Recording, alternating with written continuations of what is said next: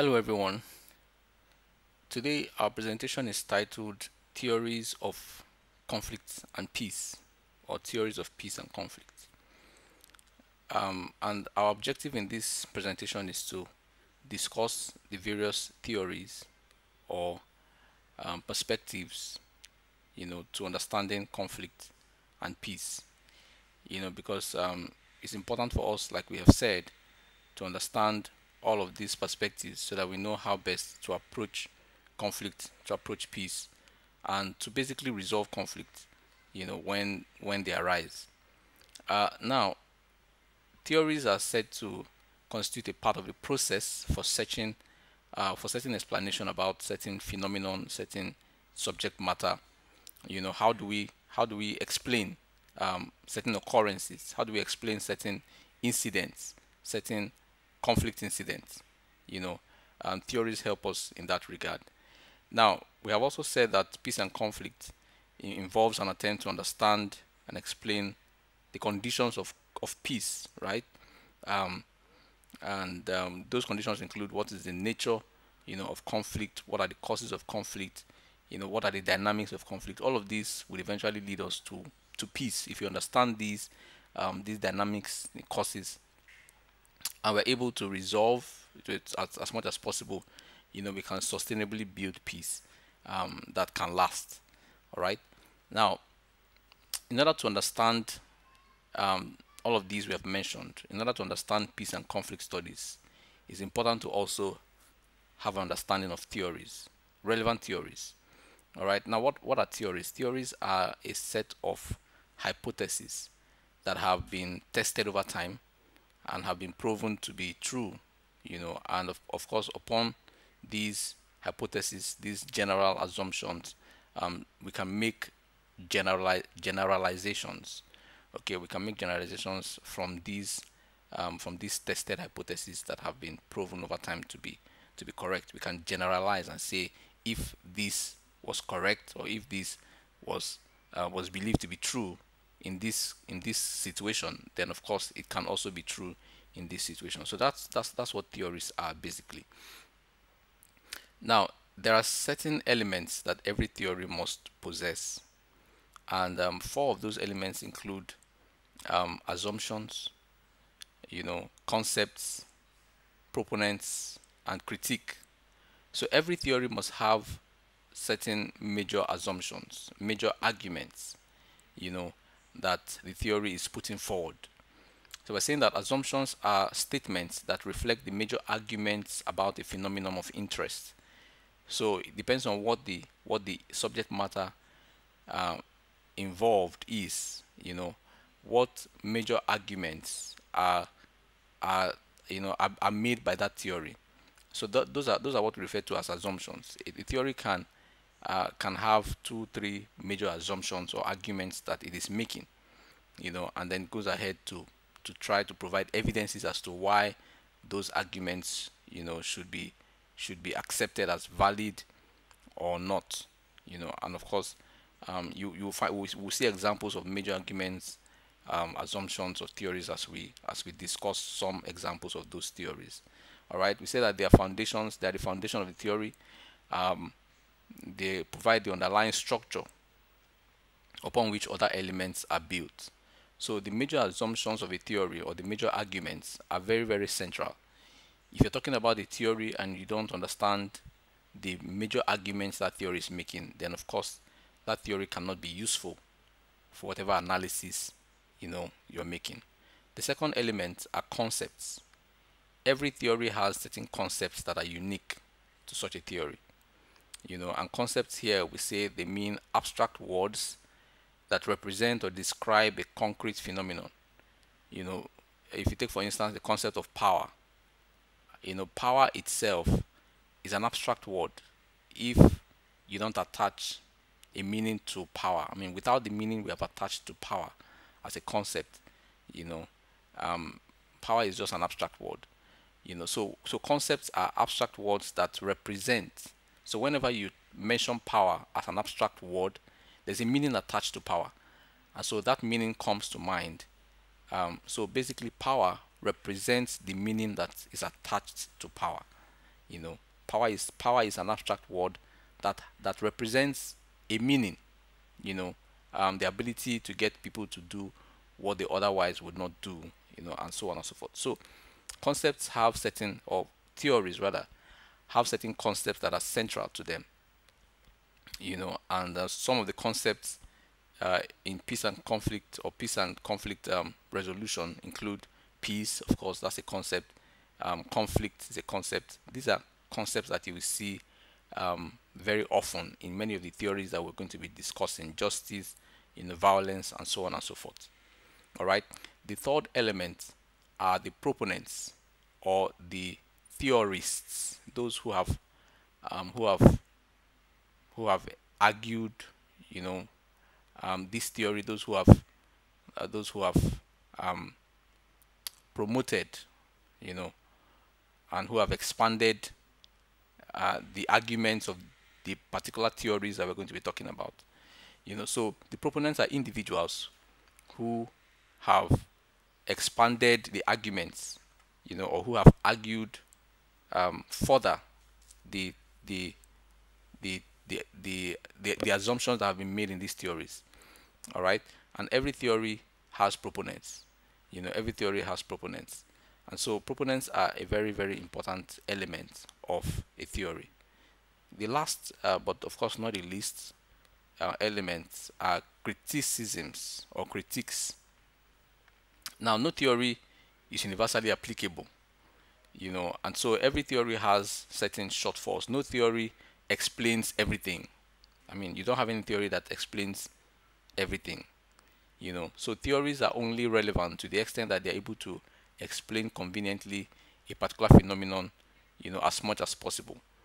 And even in their own explanations there are certain places where they have lapses. There are gaps in such theories or in the explanation you know that such theories provide. And so you need other theories to help cover those gaps you know. So um, in some cases you need two or three theories to help make a complete argument all right?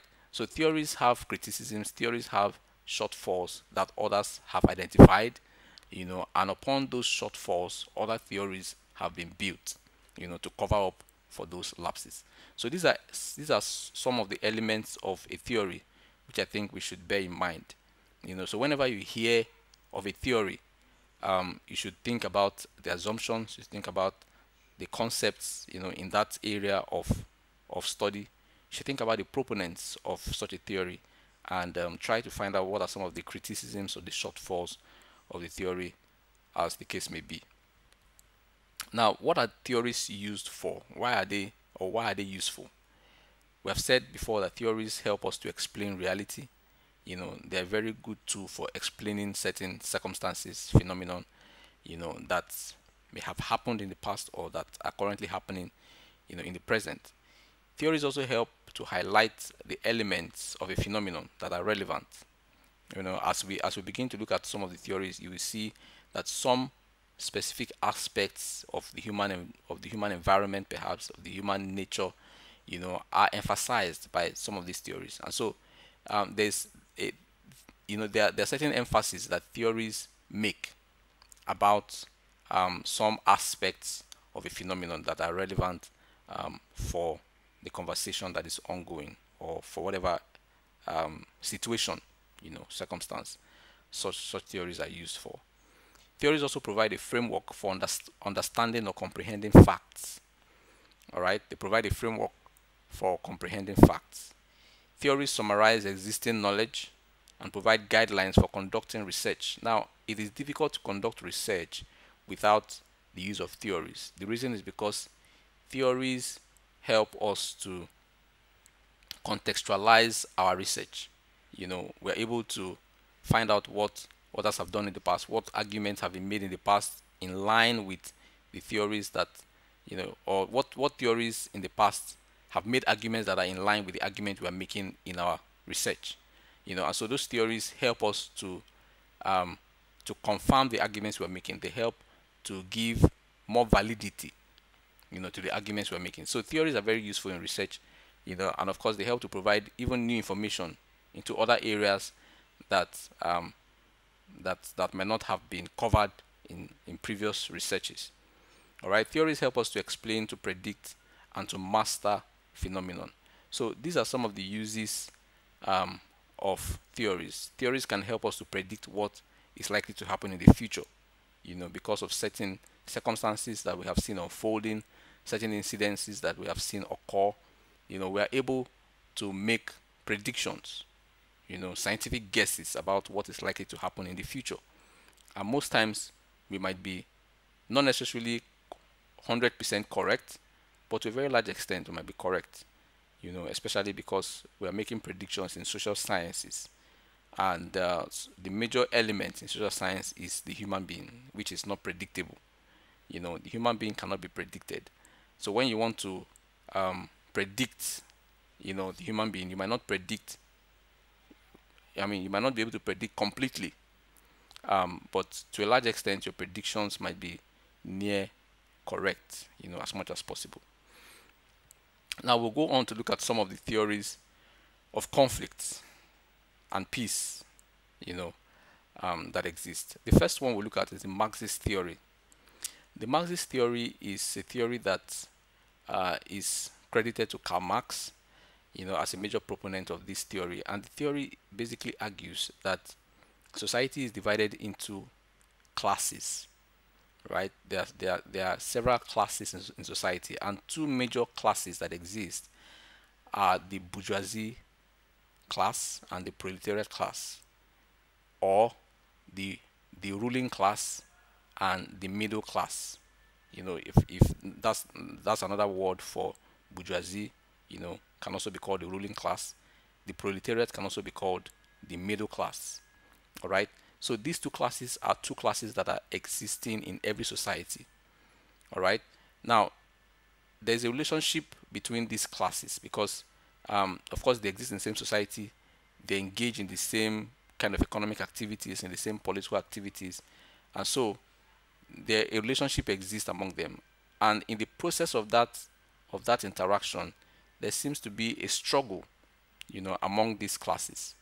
The rich want to engage in activities that that that help them to remain in that ruling class, or the ruling class rather, the elite want to engage in activities that make them remain elite, make them remain in the ruling class. Um, but the middle class, those in the middle class, you know, also want to be in the elite class. You know, and so there's a competition, there's a struggle for resources, struggle for power, you know, among these classes. And um, this competition results most times in conflict. All right. So we're saying that the competition that exists between the ruling class or the bourgeoisie class and the middle class or the proletariat class is one that is a potential for conflict. And um, that, that struggle or competition arises from the concern that certain individuals should not remain perpetually in a particular class. You know, um, you, you should not have a society where people are perpetually in the middle class. They cannot grow out of the middle class into the ruling class. You know, um, and of course, in many cases, the argument also of of Marxists of the Marxist theory is that the ruling class do everything in their power to ensure that the ruling class remains small you know because of course one of the other arguments of marxism of marxism or the marxist theory is that the ruling class in society you know are made up of very few people. So there are very few people who are in the ruling class or in the bourgeoisie class whereas the middle class or the proletariats are the majority of the society you know. So that is that is also a very key consideration in the struggle you know. Um, and the theory is saying or the argument in the theory is that some group of people should not remain perpetually in the ruling class whereas the majority of the population remains in the middle class. All right? Um, but of course the ruling class engage in activities sometimes exploitative activities that that keep them in the ruling class you know against all odds and prevent those in the middle class from reaching the ruling class so these are these are certain things that that motivate and sustain the the competition or the struggle that exists among these two classes in society. And of course, the argument is that every society has these two classes of individuals within them the ruling class, which are very small in number, and the the middle class or the proletariats, which are you know very very large. A majority of society fall under the middle class, and just a few people are in the ruling class. And this is a recipe for conflict, you know, because there's going to be that constant struggle um, among the members of these two classes. The second theory is the biological theory. Um, this theory is said to have to be drawn from the Hobbesian state of nature. You know, Thomas Hobbes argued that in the state of nature, individuals had a right to do whatever they wanted to do. There was no government, and so people were free to take laws into their hands and respond to situations in the best way that they saw fit. You know, and so nobody was accountable to anybody else. You know, that is the state of nature that Thomas Hobbes um, argued about you know, and he said that man, the nature of man, um, is dictated by this state of nature. So man is always angry, is always, you know, um, is always self-interested, is always self-motivated, and will do everything to to ensure that that you know his own goals, his own objectives and needs are met. All right. Uh, so that that that idea argues that the human nature is a selfish one. You know, the human nature is a selfish one and so it assumes that uh, human nature this nature this selfish self-centered self-maximizing nature of man is transferred from generation to generation so when people are born you know they are naturally um, self-interested and that's why you know um, you find out that even in certain certain conditions certain situations you find out that people okay you find out you find out that people are um, you know, you find out that when children are born, they are, I mean, you, you you you don't you don't easily get things from them from from from children. You know, they are they are always quick to withhold whatever it is that they have. They don't want to share, you know, and things like that. Those are those are some examples that are that are given to um, to lay or to provide some kind of of justification for this biological theory the fact that uh, the fact that children, as innocent as they may seem, also have this nature of withholding things to themselves. You know, uh, so those are those are arguments that help to justify the biological theory. All right, that the human nature, the self-interested, self-maximizing nature of the individual is transferred from generation to generation. Now, Sigmund Freud have also argued that there are two basic instincts in every man. There are two basic instincts. The first instinct is what is called the thanatos, you know, or the death, the death instinct. And the second instinct is the eros, the life or survival instinct. So these death and life instincts are two basic instincts that every human being has. All right. Now, the the death instincts that are inward uh, are instincts that that result in self-destruction. People commit suicide. You know, people get to depression. Those are those are death instincts that that manifest on the inside you know or that take place on the inside. And of course they result in some of these things that we see. People are depressed. People have suicidal thoughts you know. Those are those are inward manifestations of the death instinct all right? But outward manifestations of, of the death instinct are people's fearlessness, people people's um, willingness to to walk into their debts. I mean, people's willingness to go to war, you know, to to to be aggressive and pick up a fight that they know um, they might not necessarily they might not necessarily be be um, be victorious in. All right. So these these are two instincts that people that people um, have and or that manifests in, in individuals in terms of of of death all right but the life instincts uh, the life instincts of course manifest inwardly uh, in terms of of survival. People uh, want to survive. People want to you know people people want to um, have uh, people have um, instincts where they where, where they just want to you know to, to live and prosper basically in society. You know and outwardly people are ambassadors of peace you know people are ambassadors of peace. And so they they want to pursue peace at all costs and ensure that um, that they have um, the environment you know that they, have environment that is conducive for them to pursue peace as much as possible. Okay so these are the two instincts that individuals possess. And um, these two instincts are what also constitutes the the human nature you know according to the biological theory. All right? So um, that is what the biological theory uh, argues. All right? We've talked about the uh, the Marxist theory and the competition that exists between the two classes. We've talked about the biological theory and the nature of man you know the self-interested nature of man and how that nature manifests to the extent that it is transferred from generation to generation. And not just that, that nature also has two dominant instincts, you know, the death instinct and the life instinct. And of course, these two instincts um, um, argue for conflict. You know, the death instinct, you know, uh, tends more towards conflict, whereas the life instinct tends more towards, you know, peace, pursuing peace, you know, advocating for peace, and so on and so forth. All right. The third theory is the psychosocial theory. The psychosocial theory. This theory basically assumes that the human brain is able to respond, you know, to aggression and peace equally.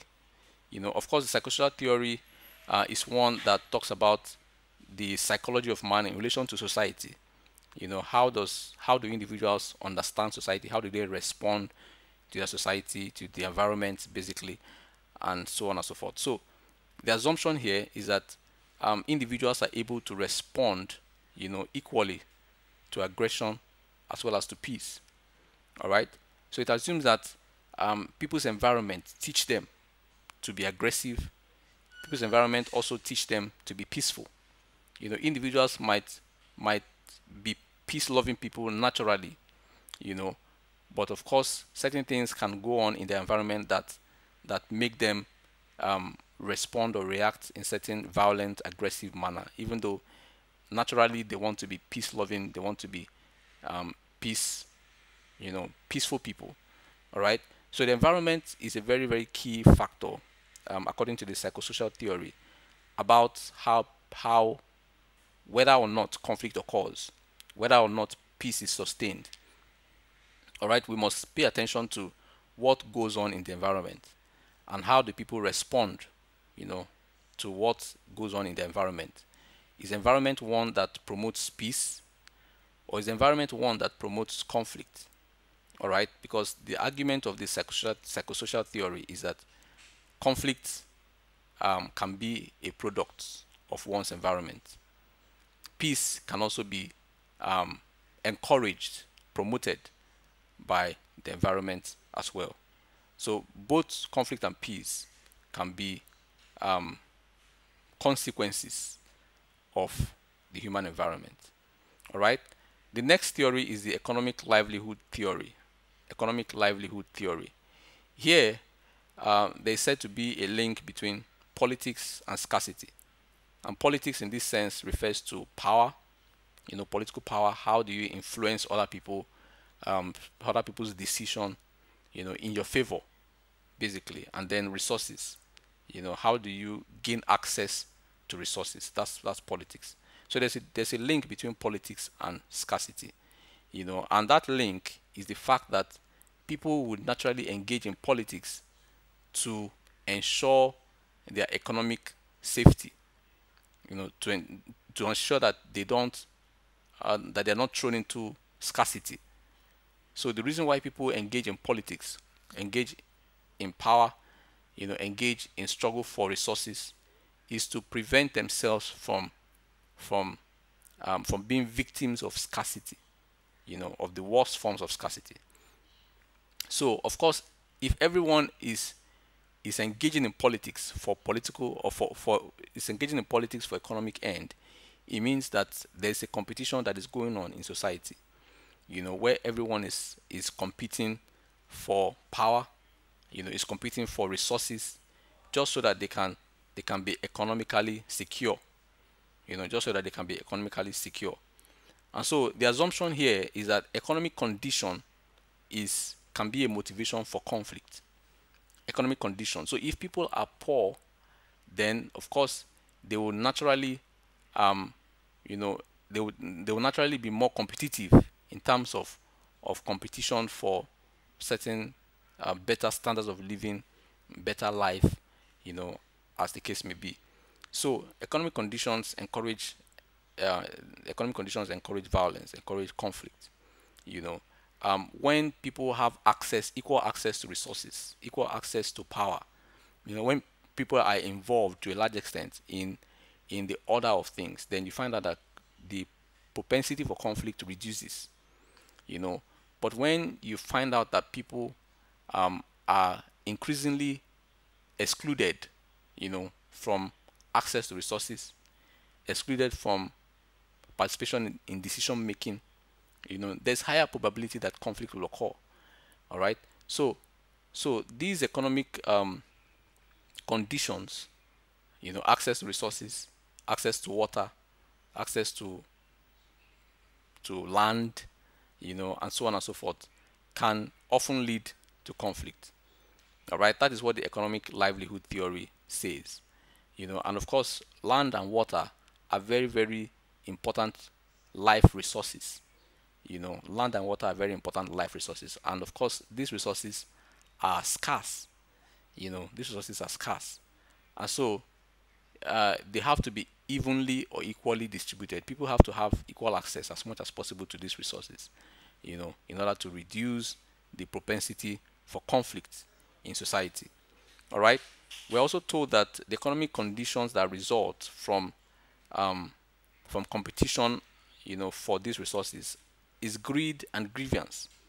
You know, so if people if people are in constant competition you know they might become greedy they might i mean the competition makes people you know greedy or the fact that that they don't have sufficient access to resources you know can make them interested in profit all right from primary commodities so people naturally um, are interested have an interest in profit they have an interest in profit and that's why they compete that's why they engage in politics so that they can have economic benefits you know that is the greed they're talking about.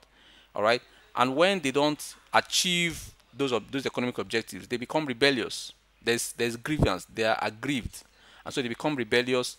And such rebellion can be manifested in several ways. All right. It can be manifested in several ways. Paul Collier is one of the major theorists or proponents of this economic livelihood theory. All right. Um, you find out that in some of them, I'm not giving you the proponents because I want you to do some work yourself. Okay, so Paul Collier is the pro is a major proponent of the economic livelihood theory, and of course he has argued a lot about how resources, how scarce resources, you know, can can be a conflict motivator. Um, frustration aggression theory is another theory of conflict. Frustration aggression theory. This theory holds that aggression comes as a result of frustration you know, and vice versa.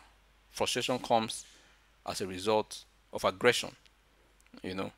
And frustration here in the sense that it is an event with observable conditions. All right? People get frustrated due to observable occurrences and not by a wave of abstract feeling, you know, or emotion. So people are frustrated because of certain things that that happen, you know, either because they are not they are not they are not included in the process of making decisions. Increasingly, they have been excluded or they have been continually denied certain resources that they are entitled to. You know, they become frustrated. All right. And of course, when individuals are frustrated, they naturally react, um, you know, uh, in, in a very, very violent, you know, sometimes conflictual manner. And individuals will naturally react, you know, to unpleasant situations. So so the response to frustration is necessarily, you know, most likely in many cases is aggression. All right, the response to frustration is aggression. It says when people are prevented from reaching their goal, they get frustrated.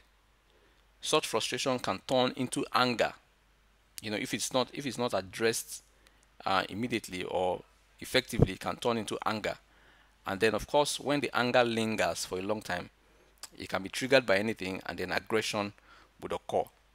So, the, this theory basically says that unmet expectations unfulfilled dreams or goals in society frustrate people you know to the extent that they are angry and such anger you know can lead to aggression eventually if not properly managed. The last theory we're going to discuss is the human needs theory. All right human needs theory and this is slightly similar to frustration aggression theory. The human needs theory uh, basically says that you know there are certain needs that human beings want you know or that human beings have you know basic needs food clothing shelter you know um, of course self self actualization is the highest need of human beings human beings want to feel actualized they want to feel you know they want to achieve their their goals and potentials all right and so um, in human interaction both at individual level and in group level um, is in pursuit of these needs that they have. All right. And so the assumption here is that when these needs are unfulfilled, um, conflict is likely to occur. All right. Conflict, conflict is likely to occur. Um, but of course, the difference between this and frustration is that it conflict it might not go through all those all those stages of frustration, aggression. You know, um, that is the argument of the frustration aggression theory that conflict goes through those stages uh, uh, before they occur. You know, when when when people are faced with unpleasant situations, you know, obvious outcomes, when there are obvious outcomes that are not satisfactory to people, they go through being frustrated. They go from being frustrated to getting angry, and then aggression can come, you know, as a result of these two eventually. All right, but human needs um, doesn't necessarily specify those levels of conflict, those levels of escalation in the conflict process, you know, from frustration to aggression. All right. But the point here is that unmet needs too, unfulfilled needs are a conflict motivation. And here the needs are more specific, not necessarily needs of resources or needs of uh, involvement in this in decision making, but here it is basically food, clothing, shelter, you know, and the need to actualize oneself, one's dreams. So those are those are the needs that individuals have, and um, if they are deprived these needs or if they're not able to achieve these needs, then conflict might, might occur. All right. Abraham Maslow is one of the major proponents of the human needs uh, theory. He was the one who um, who stated that human human needs, you know, follow a hierarchical order. All right, from from the from the base of course there, there are basic needs that people want food need for shelter need for clothing you know and as they go up the pyramid people just want to be self-actualized all right and so when they don't actualize their dreams you know their aspirations uh, they can become um, they can become conflictual or that can lead to conflict you know in many cases so these are theories that help to explain um, several conflict situations. All right. Now, all these theories um, might not or would not would not. These theories provide various arguments about, you know, why conflicts occur, how conflicts occur, how to understand, you know, um, the reason why conflicts have occurred, or how to understand certain specific conflicts. These six theories, you know, provide six explanations to conflict. Remember, we have said that a theory, you know, is basically synonymous to sitting in a room that has several windows. If you look out, if you look out the room from a particular window, you know, you are bound to see a different section of the outside. You know, if you look from another window, you are bound to see another entirely different section of the outside. You know, you cannot have, uh, you cannot see completely all of the perspective outside except you go outside uh, you, so you cannot you cannot you, not, you cannot conveniently um, you know have a complete view of the outside from inside. You can only view from the window and the window is restricted. So it gives you only what is able to show you you know from that um, from that window about the outside if, if you understand what, what i'm saying. So that that is the same with theories. Theories are limited to the extent that they're able to explain only certain aspects of the phenomenon in question. And in this context we're talking about conflict all right so the human needs theory only only talks about um, the needs of the individual as it relates to how that can motivate conflict.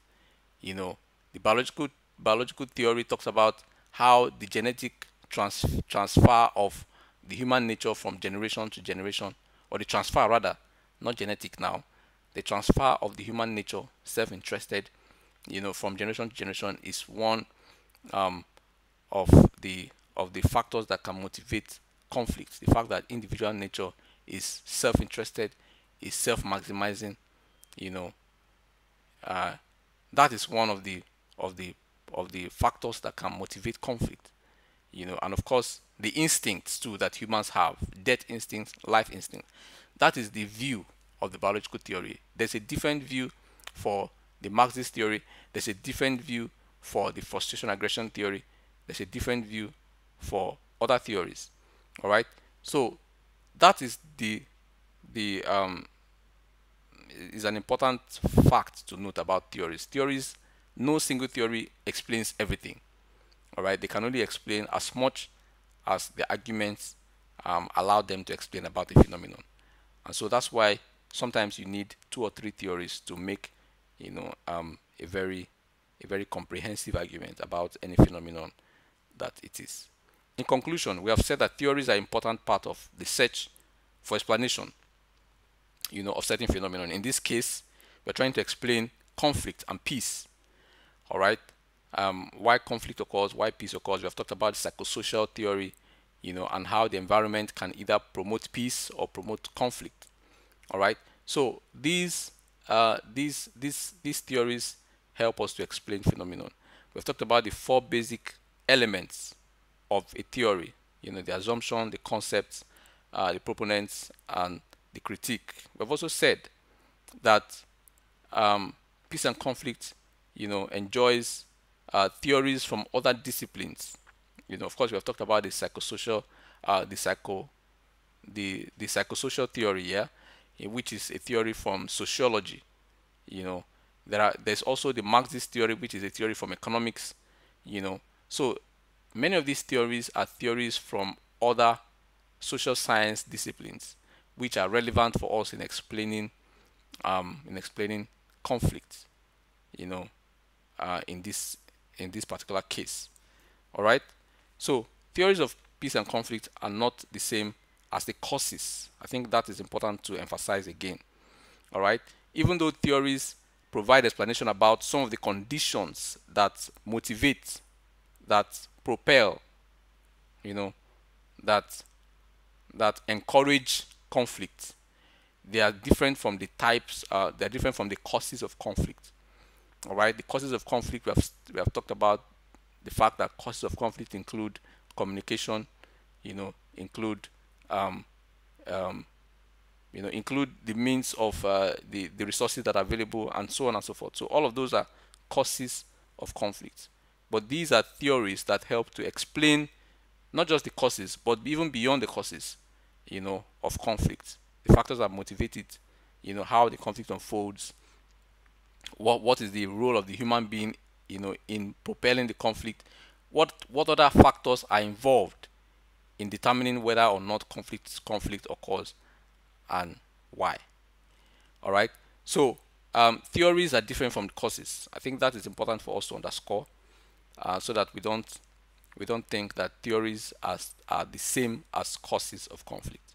So even though theories help to explain the factors that motivate and that might lead to conflict, they are not the same as the causes of conflict.